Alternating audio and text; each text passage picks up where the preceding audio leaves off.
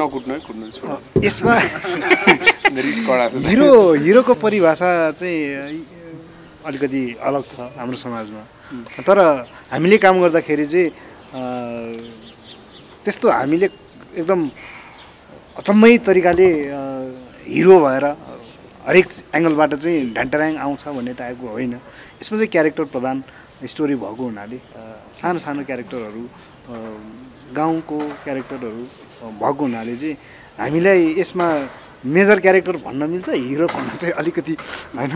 अलिक गाह्रो हुन्छ होला। मैले मेरो बुझाइअनुसार र यसमा अझ विशेष गरी चाहिँ हाम्रो विल्सन दाईले चाहिँ भयङ्कर राम्रो काम गर्नुभएको छ। म छोटो हिरो उहाँ अलि लामो हिरो। हिरोको विषयमा हिरोको विषयमा चाहिँ यस्तो छ कि मेरो मेरो बुझाइमा चाहिँ हिरो भनेको हामीले हामीले हामीले व्याख्या र विश्लेषण हिरोको अथवा एउटा चित्रण जुन छ त्यो फर एकदमै एउटै मात्रै छ त्यो हिरोले चाहिँ हिम्यान लामो लामो कपाल एकदम मान्छे कुटिहाल्ने ठुल्ठुलो ज्यान होइन? अनि गएर गोदावरीमा नाचिहाल्ने हिरोनी बोकिहाल्ने हिरोले बचाउने। तर वास्तवमा हामी हलिउडबाट हेर्दै हौँ हलिउडमा टाइटेनिक भन्ने सिनेमा बन्यो। त्यो टाइटेनिकमा हिरै लडेको हिरै मऱ्यो क्या। त्यहाँ त आर्नल्ड पनि थियो नि त होइन? हलिउडमा। आर्नल्ड भएको भए सायद त्यो टाइटेनिक बचाइदिन्थ्यो होला क्या। डुब्नै दिँदैन थियो होला क्या। तर हिरै डुब्यो क्या। हो कि त?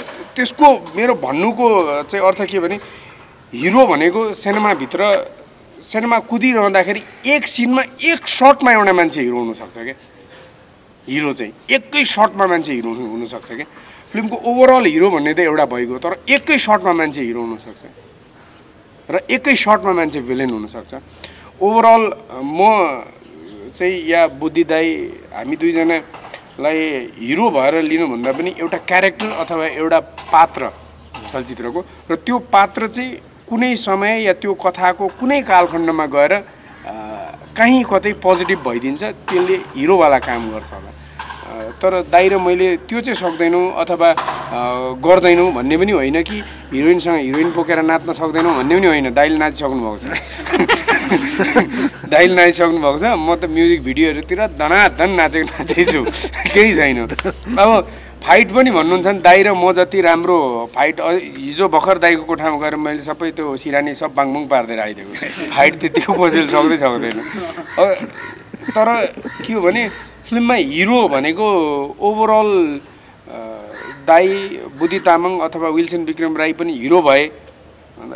त्यो चाहिँ अलिकति कता कता होइन हामी हिरो होइन हामी एउटा चाहिँ चलचित्र कथाभित्रको एउटा पात्र हो होइन? त्यो पात्रले कहीँ कतै गएर एउटा पोजिटिभ काम गरिदिन्छ या त एउटा नेगेटिभ क्यारेक्टरलाई परास्त गर्छ डायलगमा या केही सिनमा। त्यसपछि ऊ केही समयको लागि त्यो पात्र मात्रै हिरो हो। हामी दुईजना त खतम के भन्नु? छोडिदिउँ भयङ्कर त्यही क्या हो हजुर। ट्रेलरमै देख्नुभयो। यताबाट यताबाट आउनै छ। होइन तिमी भन न। सबै मैले भन्ने भयो तिमी तिमीले किन पैसा लिएको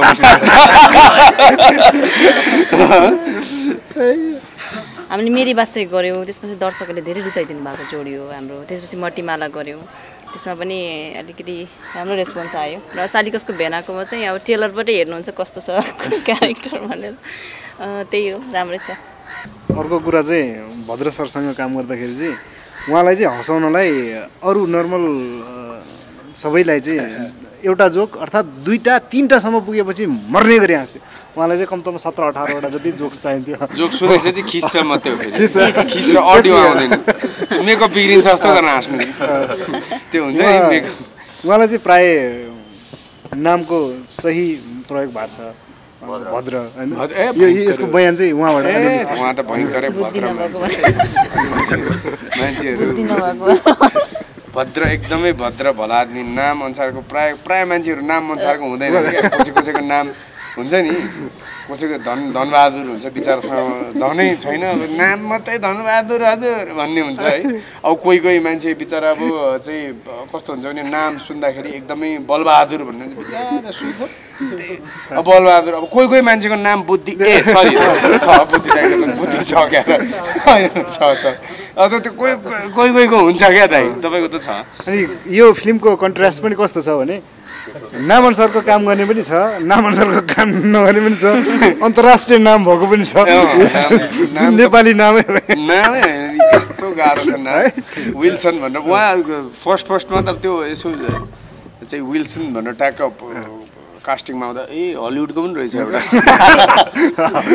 विल्सन आउँछ त्यो पनि अझ भोलि त इङ्ग्लिसमा नाम नेम कास्टिङ पनि इङ्ग्लिसमा राख्ने सिस्टम छ नि त।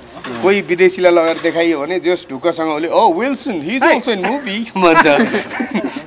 हाम्रो मान्छे पनि रहेछ है एउटा भन्ने हुन्छ नि त। त्यसलाई के थाहा झापाउँछ भन्ने ओके